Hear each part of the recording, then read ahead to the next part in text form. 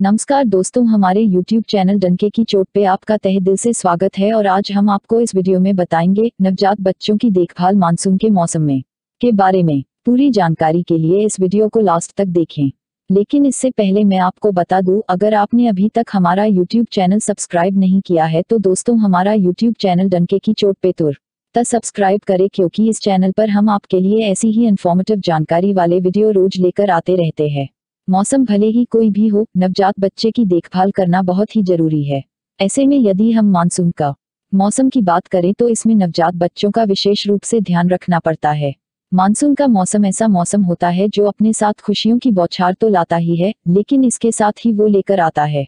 कई तरह की बीम, रियों को भी ऐसे में नवजात शिशु की खास देखभाल बहुत आवश्यक होती है।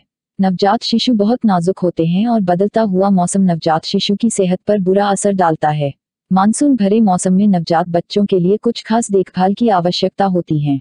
तो चलिए मानसून के मौसम में नवजात बच्चों की देखभाल के बारे में विस्तार से जानकारी प्राप्त करें।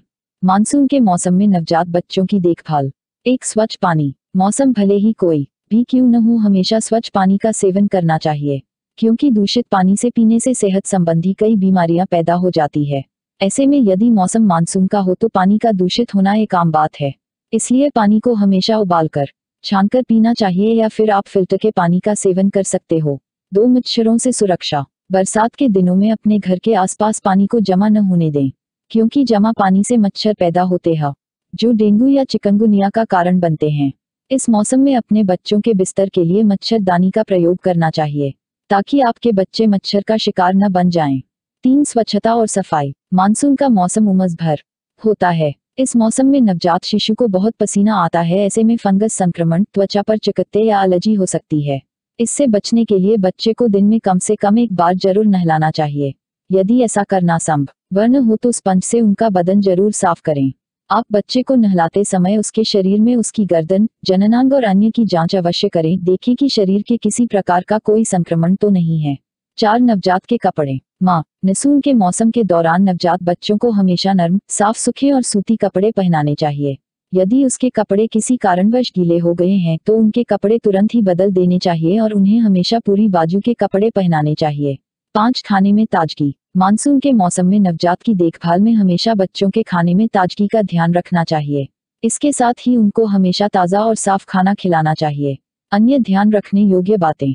मौसम की पहली बारिश होने पर अपने बच्चों को घर के अंदर ही रखें, क्योंकि बरसात की पहली बारिश अम्लीय हो सकती है, जिससे नवजात को त्वचा संबंधी समस्या हो सकती है।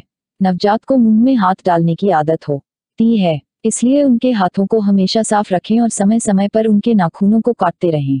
इस मौसम के दौरान बच्चे अक्सर बीमार हो जाते हैं, इसलिए अपने नवजात को बाहर तब तक न निकालें जब तक मौसम स्थिर न हो जाए। अपने चिकित्सा से पूछकर दवाओं की एक किट हमेशा अपने पास रखें। जो आपातकाल स्थिति में आपके बच्चों के काम आ सकें। उम्मीद करते हैं आपको ये जानकारी अच्छी लगी होगी। अगर आपको ये वीडियो इन्फॉर्मेटिव लगी हो तो इस वीडियो को लाइक और अपने दोस्तों के साथ फेसबुक और व्हाट्सएप पर जैसी जगहों पर शेयर करना ना भूलें। और अगर आपके मन में इस वीडियो से रिलेटेड कोई भी सवाल या सुझाव चल रहा हो तो नीचे कमेंट बॉक्स में लिख कर बताना ना भूले। हम जल्द से जल्द जवाब देंगे। और अगर आप इस चैनल पर नए हैं या अभी तक हमारा यूट्यूब चैनल डनके की चोट पे सब्सक्राइब नहीं किया है तो तुरंत सब्सक्राइब कर ले, क्योंकि रोज़ाना हम आपके लिए ऐसी ही महत्वपूर्ण जानकारी वाले वीडियो लेकर इस चैनल पर आते रहते हैं। मिलते हैं अगले वीडियो में, तब तक के लिए नमस्कार दोस्तों।